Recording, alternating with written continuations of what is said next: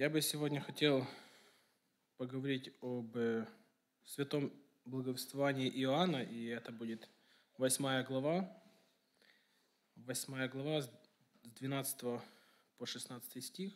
И 12 стих говорит, «Опять говорил Иисус к народу и сказал им в ответ, и сказал им, «Я свет миру, кто последует за мною, тот не будет ходить во тьме, но будет иметь свет жизни». И интересно, что немного выше в этой главе нам всем знакомая история, когда фарисеи приводят женщину, взятую в прелюбодеянии, и искушают Иисуса. И говорят, что по закону она должна быть побита камнями. Но Иисус знал закон, и он говорит, что ну, он э, писал на земле, не ну, неизвестно, что он писал, но, может быть, он писал действительно, что написано в законе. В законе было сказано, что двоих должны были привести, а привели только одного человека. И он говорит такие слова. «Кто без греха, пусть первый бросит в нее камень». И 12 стих. «Я свет миру, кто последует за мной, тот не будет ходить во тьме, но будет иметь свет жизни». И, да, и сказано также, что и они, обличаемые совестью, начали уходить. Иисус, Он просветил совесть этих людей, они увидели этот свет, они увидели, что они также грешные, что они были обличаемы, и они ушли.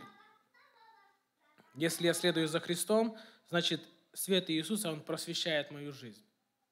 И Матфея, 9 глава, 8 стих. «Увидев то, фарисеи сказали ученикам Его, «Для чего учитель ваш ест и пьет с мытарями и грешниками?» Иисус же, услышав это, сказал им – Нездоровые имеют нужду во враче, но больные. Пойдите, научитесь, что значит «хочу милости, хочу, а не жертвы». Ибо я пришел призвать не праведников, но грешников к покаянию. Те, которые привели эту женщину, они, наверное, считали себя лучше, но когда они сопоставили себя с Иисусом Христом, когда Он сказал, что кто первый без греха, первый бросьте в нее камень, они, ну, они поняли, что, оказывается, мы тоже грешники, и нам тоже нужно спасение – Иоанна, первая глава, от Иоанна Святое Благовествование с 1 по 12 стих. «В начале было Слово, и Слово было у Бога, и Слово было Бог. Все через Него начало быть, и без Него ничто не начало быть, что начало быть. В Нем была жизнь, и жизнь была свет для человеков. И свет во тьме светит, и тьма не объяла его. Был человек, посланный от Бога, имя ему Иоанн. Он пришел для свидетельства, чтобы свидетельствовать о свете, дабы все уверовали через него. Он не был свет, но был послан, чтобы свидетельствовать о свете. Был свет истинный, который просвещает всякого человека, приходящего в мир. В мире был, но мир через него начал быть, и мир его не познал. Пришел к своим, и свои его не приняли. А тем, которые приняли его, верующим во имя его, дал власть быть чадами Божьими. Первой главе Иоанн, э, Иоанн описывает, что Иисус – это истинный свет. И тем, которые приняли Его, когда Он осветил сердца тех людей, если бы они приняли Его, то Он дал бы им власть иметь спасение, Он бы сделал их сынами Божьими. И 8 э, глава 13 стих, он продолжает, «Тогда фарисеи сказали ему, ты сам о себе свидетельствуешь, свидетельство твое не истина. Иисус сказал им в ответ, если я и сам о себе свидетельствую, свидетельство мое истина, потому что я знаю, откуда пришел и куда иду, а вы не знаете, откуда я и куда иду. Вы судите по плоти, я не сужу никого. Почему так Иисус сказал? Потому что у него была задача, он пришел сюда не судить, он пришел спасти. И Иоанн это хорошо подчеркивает, Иоанна 3,16 он говорит, «Ибо так возлюбил Бог мир, что отдал Сына Своего Единородного, дабы всякий верующий в Него не погиб, но имел жизнь вечную». Он говорит, моя задача сейчас прийти не, спас, не судить, а спасать. Я спасаю ту женщину, я спасаю вас, потому что, когда я просветил ваши сердца, вы поняли тоже, что вы тоже грешники, вы не смогли бросить камень, вы были осуждены в своей совести. И 16 стих и если я и сужу, то суд мой истинен, потому что я не один, но я и Отец, пославший меня. Придет время, когда будет судить. Но сегодня, сегодня День спасения сегодня день благоприятный и для каждого из нас. Поэтому давайте помолимся, поблагодарим Бога за то, что Господь еще спасает. Еще не день суда, но день спасения, и Иисус Христос, Он просвещает нашу совесть и дела каждого человека. Аминь.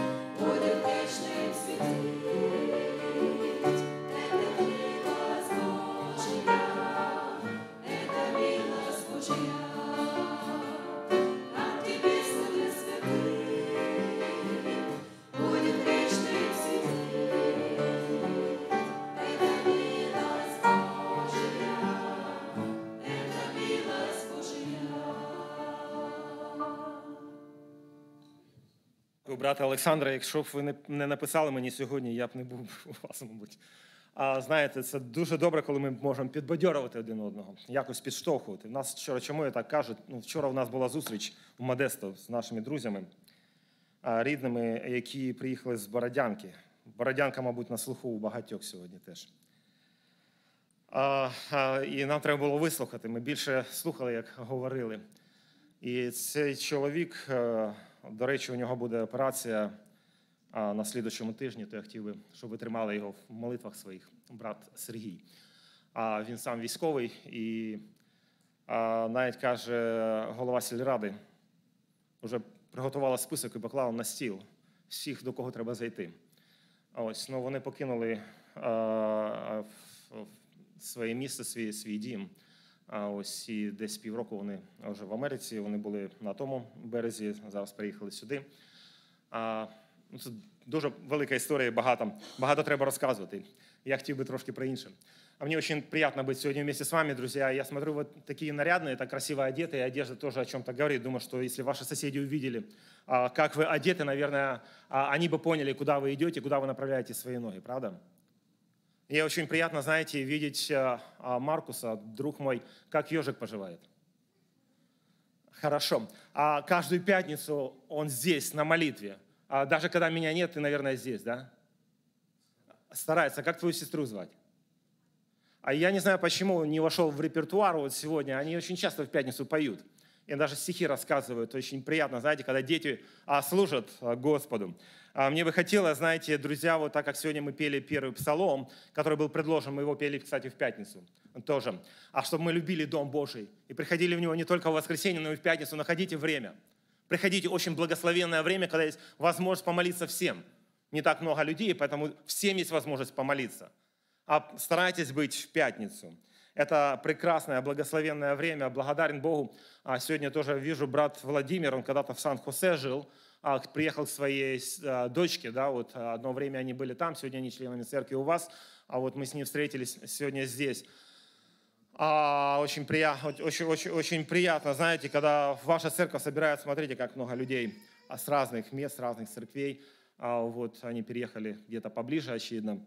А, вот. Э, и еще одно, наши друзья, которые, они и ваши друзья, которые в Израиле, очевидно, меня поправят, когда приедут, а, а то, о чем я буду сегодня говорить, то, чем я буду делиться, потому что некоторые слова на еврейском языке, может быть, мое произношение будет не очень правильным, поэтому вы уж меня простите. А, Наверное, помните, когда Иисус Христос был на Голгофе, вот эта страстной, страстная неделя, а, вот, очень много событий произошло. И очень много вещей было в жизни Иисуса Христа и учеников, которые, конечно, собраны были вместе возле своего учителя – а, не все были на Голгофе, не все были тогда, когда его а, снимали с креста, когда положили его в гроб, но тем не, тем не менее, а многие из них были в предыдущие дни, в эту страстную неделю. И я бы, знаете, вот, не знаю, раньше у меня так не получалось, даже сейчас, когда мы пели этот последний псалом, а вчитывайся в каждое слово, я один из них. Мы не были на Голгофе, но мы переживаем то, что там произошло. И мне сегодня хотелось бы говорить о том, что там произошло, о том, о чем молился Иисус Христос, вися уже на кресте Голговском, когда руки его были распяты, когда ноги его были а, пронзены, когда на голове его был а, черновый венец. Единственные слова, которые он произносит там, не единственные слова, а семь, а семь как бы выражений. Ну вот, а то, на что мне хотелось сегодня обратить внимание, это а, даже не полностью весь стих, 34 стих, 23 главы Евангелия от Луки. Евангелие от Луки, 23 глава, 34 стих, час этого стиха. Иисус говорит, «Отче, прости им, ибо не знают, что делают». «Отче, прости им». В Библии мы читаем, что когда народ израильский выходил из Египта, ангел, помните, губитель, он проходил мимо каждого дома, на, кото, на дверях которого а, был виден знак. И он проходил мимо. Он не заходил в этот дом. Сохраняя эту традицию, на праздник Пасхи евреи прибивают на косяк от дверей маленькую коробочку, на которой написано три буквы. Шин, Далет, Юд. А в коробочку вкладывает текст на свитке. Это текст из книги Второзакония 6 главы. «Слушай, Израиль, Господь Бог наш, Господь един есть». На внешней стороне свитка написано слово «Шадай всемогущий». Это слово также толкуется как акроним слов «Шамир Длатот Израил», охраняющий врата Израиля, охраняющий двери Израиля. А Бог всемогущий, охраняющий дом Израиля. Бог всемогущий, охраняющий твой и мой дом. Верите ли в это? Израиль верил, что этот знак, и до сих пор верят, говорит о том, что Бог охраняет мой дом. На праздник Пасхи мы очень много говорим о тех событиях, которые происходили в, этот, в эту страстную неделю. Страстная неделя от верного воскресенья до Пасхи. Вот эта вот неделя включает очень много вещей и то, что там произошло. Вот если проследить цепочку событий по Евангелию от Матфея, 21 а, глава, то она выглядела бы следующим образом. А Иисус Христос торжественным образом въезжает в Иерусалим. Потом он заходит в храм, опрокидывает столы миновщиков и продавцов. Затем он исцеляет слепых и хромых в храме. И, наконец, Иисус покидает Иерусалим и проводит ночь в Вифании. Дальше Иисус с учениками воспел, вошел на гору. Его молитва, его страдания, смерть, воскресение, Христос воскрес. Воистину воскрес. Воистину воскрес. Почему-то вы так не смело, или я так не смело произнес это приветствие. Христос воскрес. Слава Богу. Слава Богу. Иисус Христос воскрес. Наша дочка, когда нам звонит, все время нас приветствует нас словами «Не мир вам». Не папа, мама, добрый день или доброе утро. А говорит, Христос воскрес. Говорит, ну папа, ну правильно, что Иисус Христос воскрес. Не только на праздник воскресенья, да, вот на празднике Пасхи, когда мы празднуем об этом. Сматривая, знаете, в каждую деталь и в том, что происходило, я задаю себе один и тот же вопрос. Господи, ради чего все это? Почему такое представление и зачем тобой был а, предложен именно такой сценарий? А так все происходило таким образом. Думаю, что у каждого из вас уже есть свой ответ. Но вот торжественный вход а пальмовые ветви, одежда, все под ноги Христу, восклицание, а погром в храме, исцеление, вызванный огонь на себя со стороны местной элиты и священства, страстной четверг или чистый четверг, вечеря Голгофа и воскресенье. А, да, вы скажете, а все об этом писали пророки, так должно было быть. Конечно, пророки были движимы Духом Святым, и они говорили о том, что должно было произойти. И все, кажется, складывается а, в одну такую, знаете, логическую цепочку – потому что все так должно было быть. Но перечитывая эту а, пасхальную историю, я опять-таки задаю себе вопрос, что для меня значит праздник Пасха? Друзья, что для меня значит праздник Пасха? Помните слова на Христе, которые Иисус произнес, «Прости им, Отче, Отче, прости им, ибо не знают, что делают» первой главе книги «Бытие» есть история, в первых главах книги «Бытие» есть история о грехопадении Адама и Евы. Помните, Евы, помните о первых людей, о том, как Бог простил им грех. И в этой истории говорится об одежде, о кожаных одеждах. Не о тех одеждах, которые сделали себе Адам и Ева, а кожаные одежды. Если прочитать между строк или а, читать другие тексты из Священного Писания, а, можно понять, что без пролития крови не бывает прощения. Помните, да, об этом говорит Священное Писание? Откуда взялись эти одежды? А есть немножко разногласия, люди спорят о том, что же произошло тогда. Вы можете не согласиться со мной, но я верю, что эти кожаные одежды не были просто сделаны Богом. Хотя для него нет ничего невозможного. Но не случайно в Писании написано, что без пролития крови не бывает прощения. И когда Бог сделал эти кожаные одежды, они должны были о чем-то говорить читающему Священное Писание. Эта простая история жизни первых людей указывает на одну важную мысль, для чего должен был прийти Сын Человеческий, Сын Божий в этот мир. И Он пришел. И это уже было сказано там, когда Бог прощает Адаму и Еву. Это прощение человека. Они были прощены. Признаю, что нас, э, знаете, э, мы читаем Священное Писание, и мы мало знакомы с теми а, традициями, обычаями, которые были а, вот, в народе израильском, хотя мы много знаем Священных Писаний. Я думаю, что наши друзья, братья и сестры, которые сейчас в Израиле, они, когда приедут, больше об этом расскажут – и будут свое слово, которое будут говорить, они будут а, подтверждать теми местами, теми событиями, которые они, там, где они были, там, где они переживали. Сегодня, кстати, они были на Генесарецком озере и пели там, помните, псалом мы такой поем, а «Чудное озеро Генесарецкое». Как это созвучно, Паша, спасибо, что вы поставили это видео. А вот удивительным образом ты смотришь на эту картину, и когда поется этот псалом, ты представляешь, а, какое чудесное место, где это все происходило а в жизни нашего Господа. Они сегодня там, а мне сегодня об этом говорят. А мы отчасти знаем то, что читаем даже. И Павел в первом послании Коринфянам, 13 главе, говорит, теперь мы видим как бы сквозь тусклое стекло, гадательное, тогда же лицом к лицу, теперь знаю я отчасти, а отчасти познаю подобно, как я познан. Павел, апостол язычников, говорит, отчасти мы знаем. Я тоже не знаю всего, и, может быть, я где-то, если ошибаюсь, вы можете подсказать мне, но, к сожалению, отчасти мы понимаем то, что даже происходило в эту страстную неделю. Может, поэтому недооцениваем страдания, страдания нашего Господа, недооцениваем Голгофу, недооцениваем смерть и воскресение Господа нашего Иисуса Христа. Более того, а, многие благословения в своей жизни мы даже приписываем не Господу, не Господь сделал, а то, что а, мы получили каким-то другим образом.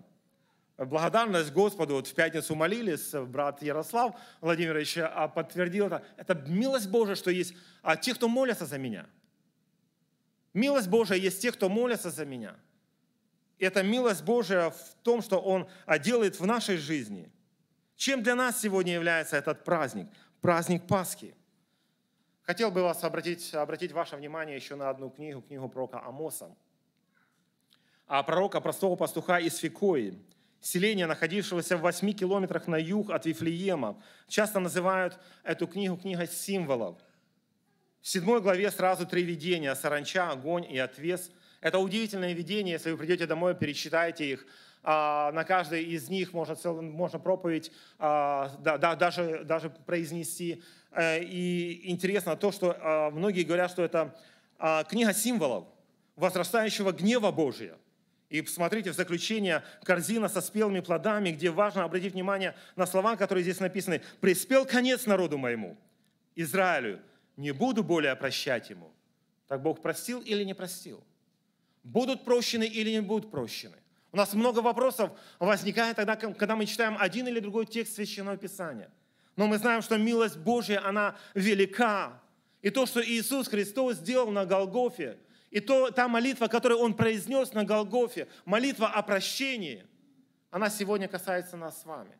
Она сегодня за всех людей, живущих в этом мире, не только нас, которых собраны здесь, в этом доме молитвы, но и тех, которые сегодня еще далеки от Господа, которые еще не знают Господа. Но как, а, как нам рассказать им о Боге, милующем и прощающем? Интересно то, что пророк предваряет, а, предвещает голод – но не голод, но не, но не недостаток хлеба. Это 8 глава, 11-12 стихи написано так. «А вот наступают дни, говорит Господь Бог, говорю я, когда я пошлю на землю голод, не голод хлеба, не жажду воды, не жажду слышания, но, но жажду слышания слов Господних. И будут ходить от моря до моря, и скитаться от севера к востоку, ища слово Господня, и не найдут его. Мы когда приехали а, купили такой номер, и на нем была рыбка. Ну, немножко поездили по Америке и поняли, что, Господи, я недостоин этого. Люди смотрят, как я езжу, и говорят, он верующий, он христианин. Мне стыдно стало. Господи, я не так езжу. Мне стыдно стало. Знаете, ну, вот эта маленькая рыбка на багажнике нашей машины, это не просто знак, это символ. Четыре чаши на столе, на пасхальном столе. Это не просто четыре чаши, это символ. Одни говорят 10, другие говорят 12 блюд на столе, пасхальном столе. Это тоже символы. И, конечно, здесь важно знать то, о чем они указывали, на то, на что они указывали и о чем они говорили. И каждое действие, которое происходило на вечере Господней, очень важно. Мы, может быть, даже и не догадываемся, но ученики, они должны были знать, а что это значит и о чем идет речь. Я просто себе представляю еврея на одном из таких событий, который, возможно, не читал ни Тору, ни пророков, ни даже книгу псалмов, но он внимательно наблюдает за тем, что происходило или происходит. Я уверен, что он обязательно вынесет для себя какой-то урок из того, что он видел. Из того, что он видел. Из, на этой пасхальной неделе, значит, а, хотел бы обратить внимание всего лишь на одну вещь. Это верхняя одежда, которая была на Иисусе Христе. Евангелист, а, евангелисты Матфей, Марк и Лука, они говорят очень много о, о пасхальной неделе, но больше о страданиях Господа. Оно как-то их Евангелие больше так смещено а, вот к концу своих Евангелий. А евангелист Иоанн более подробно а, нам говорит о пасхальной неделе. Почти пол Евангелия – это последняя неделя и его страдания, смерти воскресения. И он пишет в 13 главе, Евангелист Иоанн с 3 стиха следующее. Иисус, зная, что Отец все дал в руки Его, и что Он от Бога и шел, и к Богу отходит, встал с вечери, снял с себя верхнюю одежду и взял полотенце, припоясался, потом влил воды в умывальницу и начал умывать ноги ученикам и отирать полотенцем, которым был припоясан. Верхняя одежда – в действиях Иисуса Христа ученики должны были узнать и понять, почему Иисус так поступает. Если бы я был там, я бы, конечно, сказал, Господи, а почему ты так делаешь? Но для них это было понятно. Для них это было понятно. Это слово о чем-то говорило, это действие о чем-то говорило для них. Интересно то, что только Иоанн описывает об этом. И Иоанн говорит об этом, потому что верхняя одежда, как говорят на Востоке, а, она символизировала прощение. Она говорила о прощении – Наверное, вы знаете, что наши ноги говорят тоже о чем-то. Особенно грязные ноги. О чем они говорят? О грехе. Христос говорит Петру, Петр, а мы тому нужно только ноги умыть, потому что чист весь. И вы чисты, но не все. Помните, мы читаем а, одно событие, которое происходило а, в жизни Иисуса Христа, когда Он был здесь на земле. Он посетил дом одного фарисея – И он ему говорит, ты воды мне на ноги не дал, целования мне не дал, головы мне маслом не помазал, а потому сказываю, тебе прощаются грехи ей многие. Ей прощаются грехи многие. Ты знал об этом всем, а потому что ты знаешь все традиции, которые были на Востоке, но ты этого не сделал для меня. Знаете, мы когда сюда въезжали, ваши а, братья молодые, спасибо, а, они мне напомнили эту историю. Я, мне кажется, знаете, они готовы были не только ноги и колеса помыть, если бы шланг был в руках. Вот это вот гостеприимство, мы только въезжаем, они уже готовы тебе послужить. Иисус Христос говорит этому человеку, ты этого не сделал для меня. Ты этого не сделал, ты этого не сделал. А вы осуждаете ее то, что она сделала. Когда человек имеет проблемы со слухом, знаете, а, это плохо. Когда имеет проблемы с глазами, со зрением, это тоже плохо. Но я всегда ловлю себя на том, в тот момент, что я все равно могу что-то делать. Я все равно могу что-то делать. Хуже, человек, хуже того, что когда человек не имеет ни духовного, ни, зрения, ни, ни духовного зрения, ни духовного слуха. Помните, о них писал пророк Исаия. Об этом говорил и Иисус Христос также а мы этому нужно только а, ноги омыть. Если бы, помните, Петр говорит, Господи, не умоешь моих ног, но а, тогда, не приняв его прощения, мы не сможем иметь общение с ним. Если бы Петр а не сказал этого, может быть, и мы повторяли бы эти слова. Но здесь очень важно. Если ты не умоешь, если я не умою ног твоих, ты не сможешь иметь общение со мной. Я слышал не раз, не два от людей, что, знаете, очень тяжело прощать и очень тяжело простить. Но это то, с чем мы живем, то, что мы должны делать.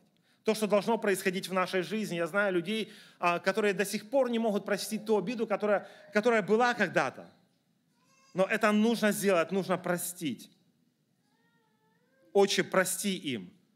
Если мы не готовы простить, то это будет, а, если, мы готовы простить, то это будет выражено и в наших делах, в наших поступках. Иисус снял с себя верхнюю одежду и взял полотенце, припоясался. Насколько мы готовы сделать то, что сделал наш Господь Иисус? Еще один текст, который связывает, а, говорит о верхней одежде, а вот а, в эту пасхальную неделю, страстную неделю. Евангелие от Матфея, 21 глава, 9 стих. Народ же, предшествовавший и сопровождавший, восклицал, «Ассана, сыну Давидову, благословен грядущий во имя Господня Ассана Вышних». И, два, и восьмой стих. «Посетили, э, постилали все одежды свои по дороге, а другие резали ветви с деревьев, постилали по дороге». И опять-таки верхняя одежда, которая брошена на дорогу. Как вы думаете, а что бы значило это? Не просто снять с себя одежду, а бросить ее на дорогу, бросить ее просто под ноги. Не просто положить ее, а бросить ее так, чтобы она смешалась с болотом, с грязью, с пылью. В Священном Писании есть несколько текстов, я хотел бы обратить на них внимание. А помните, в Нагорной проповеди Иисус Христос говорит о соли. Соль, брошенная под ноги. Соль, которая потеряла силу. Пятая глава Евангелия от Матфея, 13 стих. «Вы соль земли. Если же соль потеряет силу, то чем, бы, чем сделаешь ее соленую? Она уже ни к чему не годна, как разве выбросить ее вон на попрание? На попрание. Что значит, смеша, что, что значит смешать с грязью? Когда а, мы считаем об этом, знаете, я заставляю себя и думаю над такими вещами, которые в нашей жизни происходят. Обиды, огорчения, оскорбления, поношения. Это то, что нам нужно а, как бы забыть ради славы Божьей, милости и прощения, просто выбросить на попрание. Это то, что нужно сбросить себя, выбросить, а, потому что это уже потеряло, должно было потерять силу в нашей жизни. Потому что мы покрыты прощением, прощением Господа нашего. Представьте себе такую сцену. Иисус Христос въезжает в Иерусалим не на ослике, а на белом коне. Да, это круто, это здорово, но это уже меняет весь сценарий. Все то, что происходило на Голгофе. Но Иисус Христос, мы видим, не случайно въезжает на ослице, на сыне подъеремной, а не на белом коне. И это говорит о характере этого въезда, о характере этой встречи, об оправдании, милости и прощении. А есть такая поговорка, не знаю, в Украине у нас была такая или нет, я вычитал в России, а, не верба бьет, а старый грех. Может быть, вы слышали. И люди, когда приходят на праздник Пасхи, они на верное воскресенье, они а, бьют, побивают, так, а, хлестают верно, вербою. А, мы знаем, я не знаю, в Израиле верба росла или нет, там пальмовые ветви стелили, одежды бросали. Но вот а, а, такая традиция от наших праотцов пришла там, оттуда, где мы выехали, там, где мы жили. Вот, это говорило тоже о грехе и о прощении. Но знаете, сколько бы мы ни побивали, ни выгоняли, что-то худое, греховное, плохое, это не поможет. Только Бог Иисус Христос, который умер за нас – это Его прощение. Это Его страдания, Его смерть а, дают нам прощение. А в книге про Исаия в 63 главе написано, кто, же, кто это идет от Содома, от Едома, в червленных ризах от Васора, столь величественный в своей одежде, выступающий в полноте силы своей. Я, изрекающий правду, сильный, чтобы спасать. От чего же одеяние твое красно, и ризы твои, и ризы у тебя, как у топтавшего в точиле? Я топтал, точила один, и из народов никого не было со мною. И я топтал их в гневе моем, и попирал их в ярости моей, кровь их брызгала на ризы мои, и я запятнал все, все одеяние мое. Это еще раз подтверждает эту же мысль.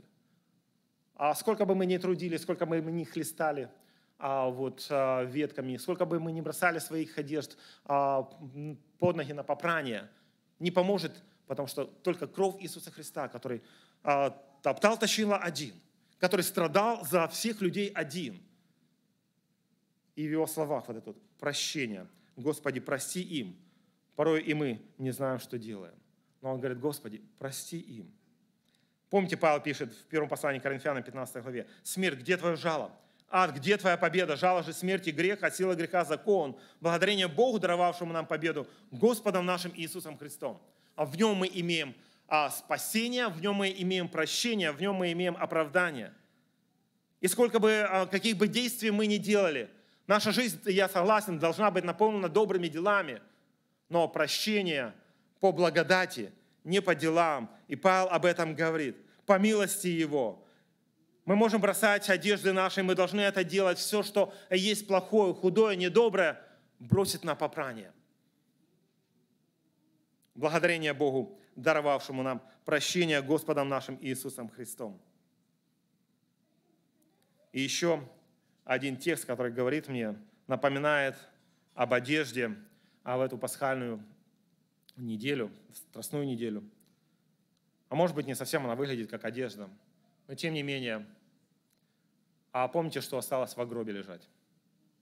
Иисуса одели, окутали, обвернули – и эта плащаница, она осталась там. О, какой беспредельно великий восторг! Бог греховные узы расторг. Воскресение Его оправдания всех, воскресение Его попран грех. Это говорит о прощении, о попрании греха и оправдании. Оправдание, извинение, раскаяние, сожаление, прощение. А если сегодня есть э, кто в доме молитвы, кто хотел бы иметь оправдание, кто хотел бы а, иметь прощение грехов. Иисус Христос сделал все для того, чтобы наш грех был прощен, чтобы мы были прощены, чтобы мы были оправданы. Кстати, апостол а, Павел говорит об оправдании 29 раз, из 39 раз, которые а, мы встречаем в, священном, в Евангелии, в Новом Завете. Павел говорит об этом очень много. И кто-то сказал, что с точки зрения апостола Павла оправдание – это деяние Божие, посредством которого он прощает грехи и вменяет праведность нечестивым грешникам даром по благодати через веру во Христа – не на основании их дел и не на основании того, что Христос представил их пред Богом праведными, праведными своей, своей праведностью и, и пролив свою кровь, принес э, искупительную и умилостивляющую и заместительную жертву за них. Слава Господу! Слава Господу, что мы имеем а, такого искупителя. Слава Богу, что мы имеем того, кто умер за нас и пролил свою кровь, кто оправдал нас. В заключение – Хочу вернуться в наше детство, потому что а, очень много воспоминаний о детстве. И, наверное, наши бы дети, они рассказали нам больше а, искренне о том, как празднуют дома день рождения, а, прошу прощения, а, праздник Пасхи, а, вот, а, каким образом он проход, проходит. Вот, и если вам интересно, можете спросить у своих детей, маленьких детей, потому что они скажут точно, как это происходит, как мы празднуем, как, каким, каким они представляют праздник.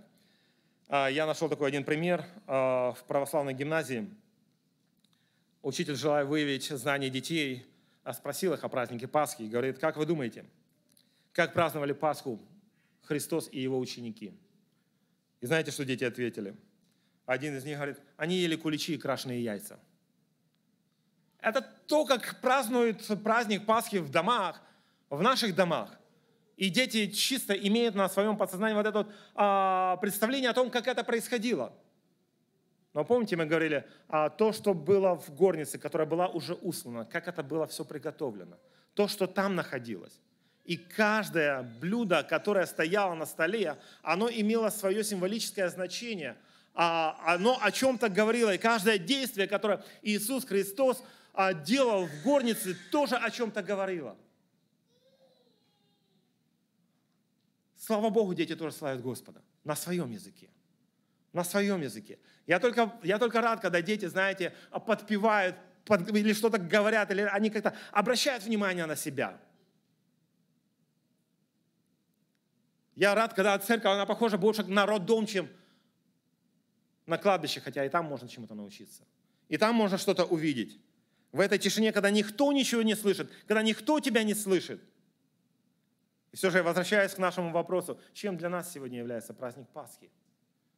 О чем он сегодня говорит? Что наши дети расскажут, как в наших домах празднуют этот праздник? О чем он говорит? Сегодня мы говорим о прощении, о прощении, которое было даровано нам Господом нашим Иисусом Христом, о прощении, которое а, мы принимаем, когда мы а, приходим к Нему в молитве раскаяния. Пасха – это победа над адом, это оправдание и прощение – мне хотелось бы, друзья, поощрить нас, будем победителями. Побеждай зло добром, учись прощать, ведь и мы были прощены, как в молитве «Отче наш» неоднократно мы повторяем по пятницам. Я не знаю, в воскресенье молитесь этой молитвой или нет. А в пятницу заключение всегда произносится молитва «Отче наш, и прости нам долги наши». Как и мы прощаем должникам нашим. Помните эти три буквы на мезузе – Шин, Далет, Юд – Слушай, Израиль, Господь, Бог, Господь наш. Шамер Длаот, Израиль, хранящий врата Израиля. Пусть Бог хранит каждый дом. Сегодня вас, присутствующих здесь, в Доме молитвы. А я сегодня утром, когда а, стал читать Слово Божие, я попал на одну проповедь. Мы были у наших детей в Атланте и были в этой церкви. Я, правда, на заключение проповеди попал а на английском языке она звучала, я уловил только последний текст, который брат-пастырь говорил. Мне очень припало это сердце, это слово к сердцу, потому что каждое утро, когда мы просыпаемся, мы хотим слышать голос Божий, правда? Мы хотим услышать, что Господь нам говорит. К сожалению, не все церкви, как наша, мы не можем собираться в 9 утра, в 10 утра, в 11 утра. Мы собираемся только в 2 часа дня, и, может быть, в 2 часа дня только Бог через кого-то проговорит к нам Слово Свое. Здесь интересно, 50, 50 глава книги про Исаия написано, «Господь дал мне язык мудрости, мудрых, чтобы я мог словом подкреплять изнемогающего». Каждое утро Он пробуждает, пробуждает ухо мое, чтобы я слышал, слушал, подобно учащемуся. Я не знаю в каком статусе, мы сегодня здесь находимся.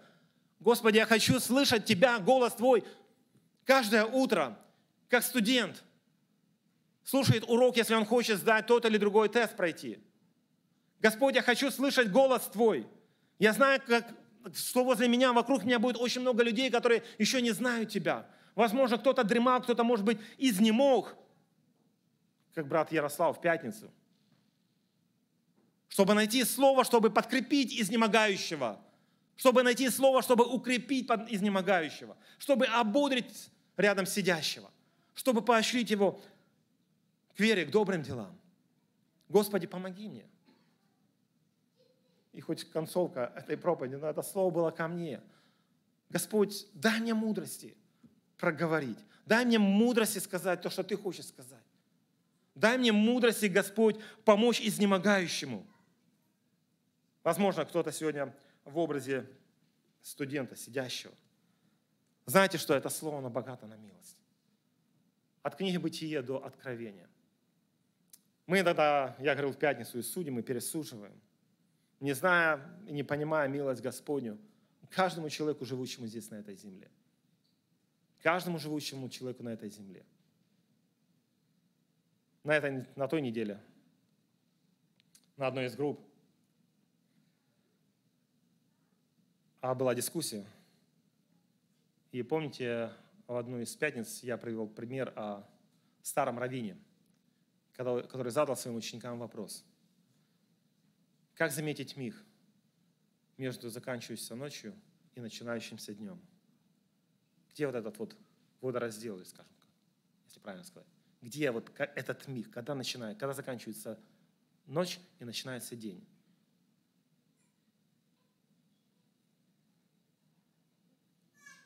Я тоже отвечаю на вопрос. Привел один текст из Священного Писания. Помните, кто-то говорит, кто мой ближний? И поставил эту, эту притчу. И кто-то быстренько так ответил, даже не подумал. Зачем нам эти старые раввины этот Бруно Ферреро, священник и монах? Хотя я не знаю, знает, знал ли этот человек о том, кто, кто этот человек вообще есть. Но если вы помните, Никодим, который пришел к Иисусу Христу ночью, он обратился к нему как? Рави. Я не знаю, может быть, кому-то не нужны старые раввины, но если бы Иисус Христос не родился в еврейской семье, если бы старый раввин Никодим не пришел к Иисусу Христу, и та женщина, которая была в саду, которая, помните, кричала к нему, Рави, Рави, Равуни, еще помягче, да, Равуни. Знаете, мы должны быть очень внимательны к тому, что написано в Слове Господнем. Мы должны быть очень внимательны, внимательны, когда говорим с людьми. Можем кого-то оттолкнуть, можем кого-то обидеть, можем кого-то оскорбить.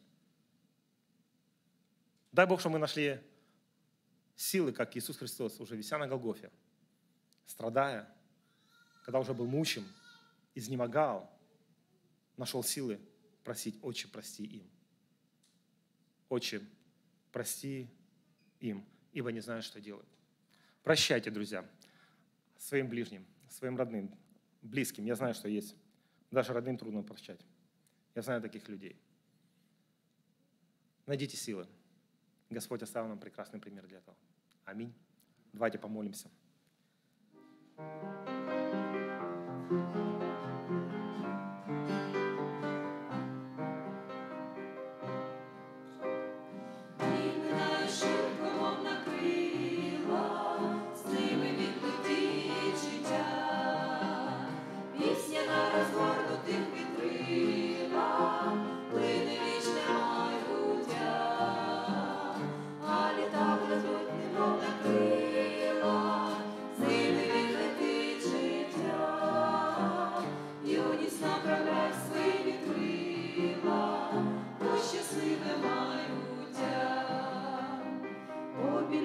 Jesus.